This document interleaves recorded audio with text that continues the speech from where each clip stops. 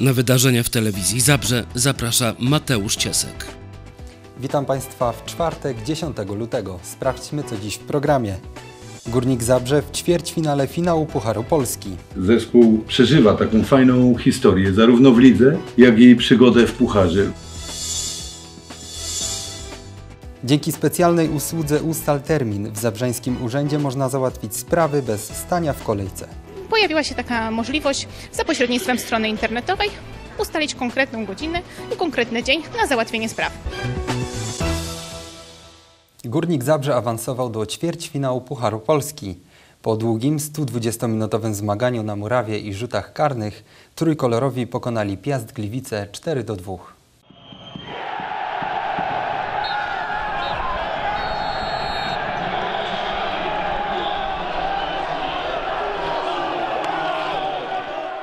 Po długich zmaganiach na murawie z drużyną Piast Gliwice piłkarze Górnika Zabrze są szczęśliwi, bo weszli do ćwierćfinału Pucharu Polski.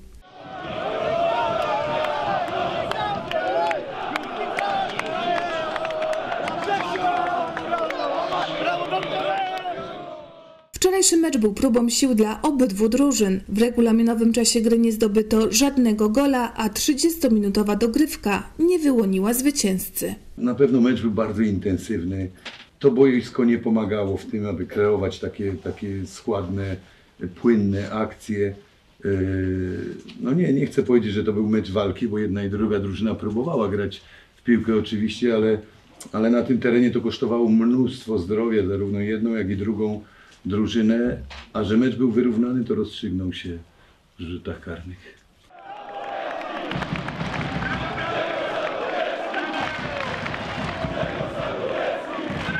W serii jedenastek bohaterem Zabrzan został bramkarz Grzegorz Sandomierski, który obronił dwa rzuty karne. Trójkolorowi pewnie wykorzystywali swoje szanse i pokonali Piast Gliwice 4 do 2. No ja byłem spokojny tak naprawdę i, i wierzyłem cały czas, y, że, że, że to wygramy. Mieliśmy tutaj kibiców ze sobą i, i niosło nas to od samego początku. Zespół przeżywa taką fajną historię, zarówno w lidze, jak i przygodę w pucharze. Puchar Polski to przygoda, która się rozpoczyna dla zespołów ligowych w 1.32, tak, jak się nie mylę. I nigdy się nie wie, dokąd można dojść. Były zespoły, które nie były na pewno faworytem, chociażby Arka Gdynia, która, która pokazała się w ostatnich latach ze znakomitej strony, jeśli chodzi o Puchar Polski. To są, to są rozgrywki, gdzie zawsze było, jest i będzie dużo niespodzianek. My mamy, jesteśmy w tej przygodzie dalej, zobaczymy dokąd możemy dojść, ale oczywiście tak samo wiemy, że jesteśmy na, na wysokiej pozycji w lidze i chcielibyśmy tam być. Już na początku marca Górnik Zabrze jako gospodarz spotkania o półfinał zawalczy z drużyną Lecha Poznań. W dobie internetu coraz więcej spraw urzędowych można załatwić nie wychodząc z domu. Jeśli jednak wizyta w urzędzie jest konieczna, aby nie stać w kolejce i nie tracić czasu, wystarczy skorzystać z usługi Ustal Termin. Kolejki w urzędach to niestety codzienność. Na szczęście dzięki coraz większej cyfryzacji można je ominąć. W Zabrzu, chcąc wybrać się do urzędu i nie czekać w kolejce, wystarczy skorzystać z usługi Ustal Termin. Żeby nie tracić czasu, e, pojawiła się taka możliwość za pośrednictwem strony internetowej ustalić konkretną godzinę i konkretny dzień na załatwienie spraw. Obecnie jest to 38 spraw. Tak naprawdę można sobie załatwić rejestrację pojazdu, możliwość złożenia wniosku o dowód osobisty, odebranie dowodu osobistego, a także ewentualnie umówienie się na jakieś tam kwestie ślubne w Urzędzie Stanu Cywilnego, rejestracji dziecka czy zameldowanie. Jak to wygląda w praktyce? Po dokonaniu wstępnej rezerwacji na swojej skrzynce e-mail trzeba potwierdzić rezerwację. Po potwierdzeniu takiej rezerwacji otrzymuje się potwierdzenie, kod potwierdzający i z tym kodem przychodzi się do nas na salę obsługi klienta. Podaje się strażnikowi, który spuszcza na salę kod potwierdzający rezerwację. Wskazuje on okienko, na które należy podejść, żeby o umówionej godzinie przyjść i załatwić sprawę, którą się chciało. Wizytę w urzędzie wystarczy zarezerwować dzień wcześniej. Ten jeden dzień jest nam potrzebny ze względów organizacyjnych, ale nie ma też takiej sytuacji, że na wizytę w urzędzie będziemy oczekiwać tydzień, dwa tygodnie czy miesiąc. Zazwyczaj udaje się to zrobić z dnia na dzień, więc możemy sobie spokojnie zaplanować inne sprawy i przy okazji e, załatwić wizytę w urzędzie. Warto pamiętać także o platformie ePUAP, dzięki której wiele spraw urzędowych można załatwić bez wychodzenia wychodzenia z domu.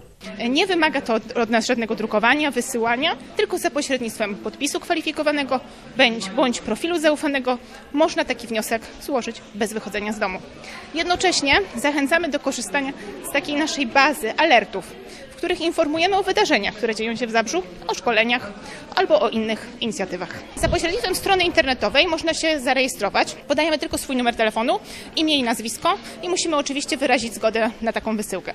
Wtedy raz bądź dwa razy w tygodniu dostajemy SMS-a z informacjami właśnie, co się dzieje w Zabrzu, Miasto Zabrze od lat działa w kierunku ułatwiania mieszkańcom załatwiania spraw urzędowych. To przedsięwzięcie rozpoczęliśmy od budowy sieci szerokopasmowej na terenie całego miasta. Mamy infrastrukturę, która umożliwia nam wdrażanie kolejnych rozwiązań. Szczególnie te rozwiązania sprawdzają się w okresie pandemii. Wtedy, kiedy mieszkańcy mogą się umówić na spotkanie e, elektronicznie, żeby nie oczekiwać zbyt długo tutaj załatwiając sprawy w urzędzie, ale takimi rozwiązaniami są na przykład e, między innymi portal podatkowy, dzięki któremu mieszkańcy mogą uiszczać podatki w sposób elektroniczny. Ułatwianie kontaktu z urzędem to element strategii Smart City.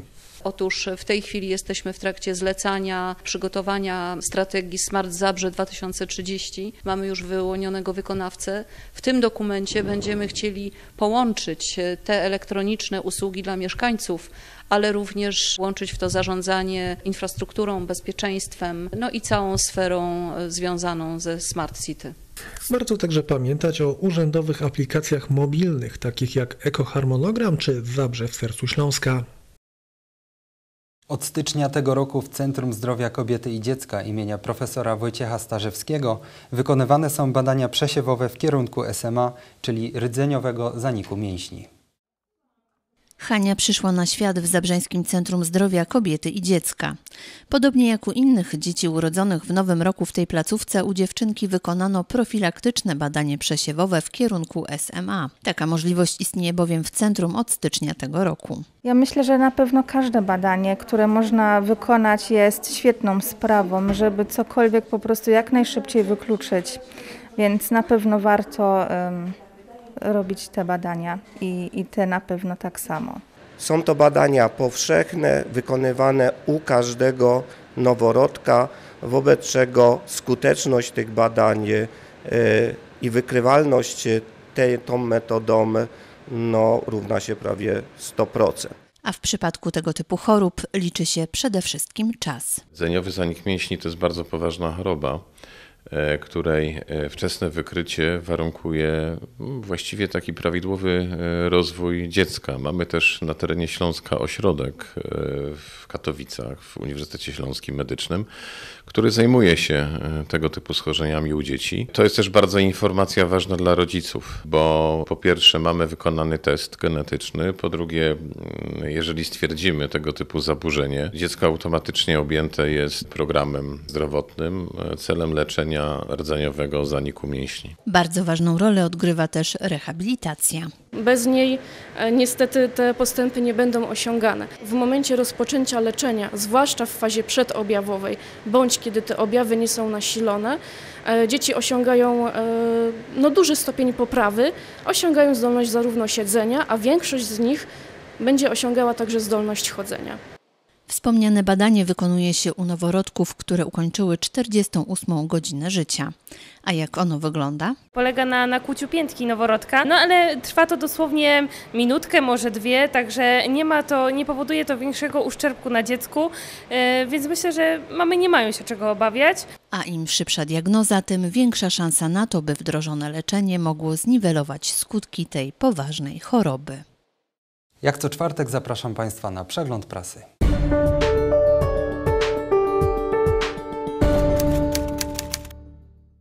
Dzień dobry, witam Państwa bardzo serdecznie. Dziś w ramach przeglądu prasy proponuję przede wszystkim nasze Zabrze samorządowe, bo ukazał się właśnie nowy numer, a w nim sporo ciekawych tematów. No i na początku zaczynamy od ferii, które właśnie się zaczynają. Za oknem, no nie wiadomo, czy to przedwiośnie, czy zima, ale ferie się zaczynają i to najważniejsze.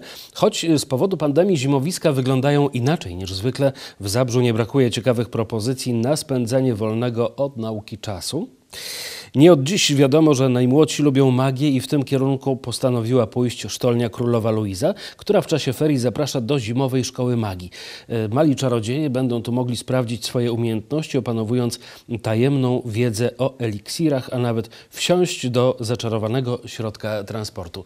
Jaki to środek, jaki to eliksir, wszystko wyjaśni się w czasie ferii. To jedna z proponowanych atrakcji. Oczywiście jest ich na terenie Zabrza w czasie ferii i będzie zdecydowanie więcej. Proszę zajrzeć do miesięcznika. Teraz troszkę o biznesie. Sprzedana została ostatnia działka w zabrzańskiej części katowickiej specjalnej strefy ekonomicznej. Ofertę złożyła firma Droma, która zajmuje się produkcją bram, rolet oraz rozwiązań w zakresie ochrony przeciwsłonecznej. To już kolejna działka tej firmy w zabrzańskiej strefie. I jeszcze w uzupełnieniu tego artykułu kilka liczb, które y, świadczą o wielkim rozmachu i wielkiej inwestycji, która y, toczy się na terenie strefy ekonomicznej. 19 firm prowadzi działalność. 1,5 miliarda złotych zainwestowały firmy w budowę zakładów. 2000 osób znalazło już zatrudnienie w strefie. Te liczby mówią same za siebie. Teraz słów kilka o tym, że e, obecnie jest może trochę trudniej, y, więcej komplikacji, ale niebawem będzie pięknie. Tymczasowy dworzec autobusowy uruchomiony został 22 stycznia przy Placu Dworcowym. Pasażerowie będą z niego korzystać do czasu zakończenia budowy centrum przesiadkowego przy ulicy Goethego. Jednocześnie Zarząd Transportu Metropolitalnego uruchomił dodatkowe połączenia autobusowe do stref ekonomicznych w Zabrzu. Na przełomie lutego i marca mają ruszyć właściwe prace, tak zapowiada Tomasz Saternus, dyrektor jednostki gospodarki nieruchomościami w Zabrzu.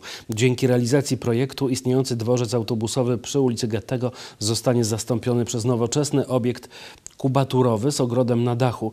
Powstaną wielopoziomowy garaż, a także dwa ronda, które zapewnią połączenie kompleksu z istniejącym układem drogowym. Wartość inwestycji sięga prawie 55 milionów złotych, więc przyznają Państwo, jest na co czekać. A teraz y, proponuję troszkę historii, która związana jest z 14 lutego. Niegdyś obecne były u nas przede wszystkim za sprawą zagranicznych komedii romantycznych. W latach 90. XX wieku przywędrowały również do Polski. Przypadające 14 lutego walentynki na stałe wpisały się już w nasz kalendarz. I wiemy, że one są, wiemy jak się świętuje, y, wiemy co i komu wręczać, ale czy wiemy jaka jest historia? Otóż skąd nazwa walentynki? Patronem zakochanych y, święty Walenty został już dawno, bo w XV wieku ogłosił go papież Aleksander VI. Kim był ów tajemniczy święty? Wiadomo o nim, że był biskupem Terni pod Rzymem i w roku 269 za panowania cesarza Klaudiusza Gota poniósł męczeńską śmierć. Naraził się cesarzowi tym, że ignorując jego zakaz zawierania małżeństw, udzielał potajemnie ślubów zakochanym. Sekret ujrzał jednak światło dzienne i biskup został wtrącony do więzienia. Tam, jak głosi legenda, miał poznać córkę strażnika, która była niewidoma, a miłość Walentego do dziewczyny sprawiła, że odzyskała ona wzrok. To jedna z legend, oczywiście jest ich e, wiele, ale ta brzmi bardzo dokładnie i prawdomównie, więc zapraszam Państwa do przeczytania tej historii. No i zapraszam do czytania naszego Zabrza Samorządowego. Telefon komórkowy mam ze sobą, drodzy Państwo, nie przez przypadek, e, dlatego że we współczesnym świecie, e, w każdym miejscu, w którym jesteśmy, e, możemy słuchać radia, możemy oglądać telewizję i możemy też czytać nasze ulubione gazety. Podobnie jest z naszym Zabrzem Samorządowym. Wystarczy pobrać aplikację. Ta aplikacja znajduje się na ostatniej stronie miesięcznika.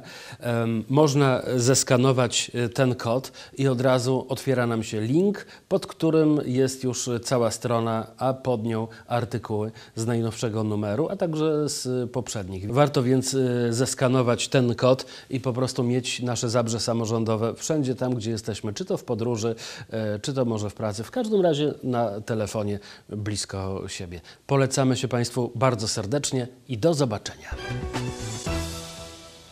Przeglądem prasy kończymy czwartkowe wydarzenia. Dziękuję Państwu za uwagę, życzę spokojnego wieczoru. Do zobaczenia.